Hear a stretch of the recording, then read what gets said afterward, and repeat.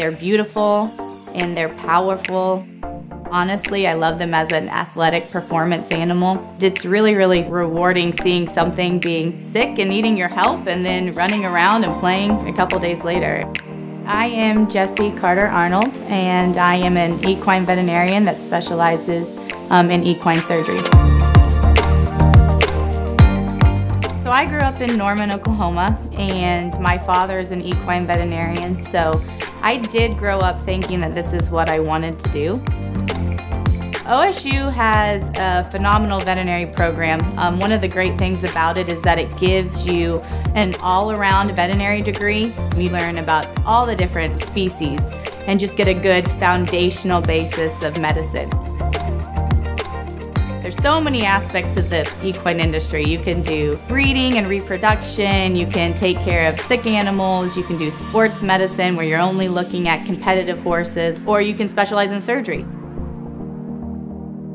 Our facility has been here for 30 years. It's attached to about a 20 stall barn. It has an aqua tread, it has a saltwater spa, so it's a full rehab facility for your horses. We did build a new facility that's going to have a standing MRI. It'll be the first standing MRI in the state.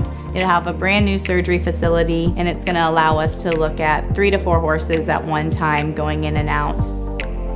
We practice in the state of California, Washington, Oregon, Arizona, Texas, Oklahoma. We fly around to those different locations and either do lameness exams on the horses, work a horse show, do a surgery, and then we have this as our home base.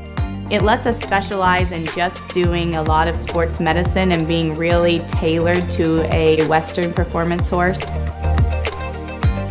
Have to have a passion for animals and you have to also have a passion for discovery and research. You know, the biggest thing on animals is they can't say, oh yeah, my, my knee hurts right here. So you have to do a series of steps and diagnostic tests that lead you to diagnose something. And, it, and it's very rewarding when every day you get to figure out something and you have the means of going and, and fixing that.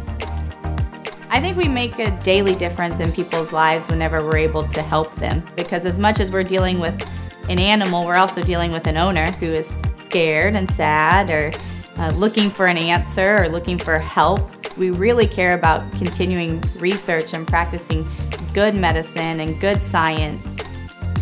I guess that's my passion, you know? There's no better place than working on horses than Oklahoma.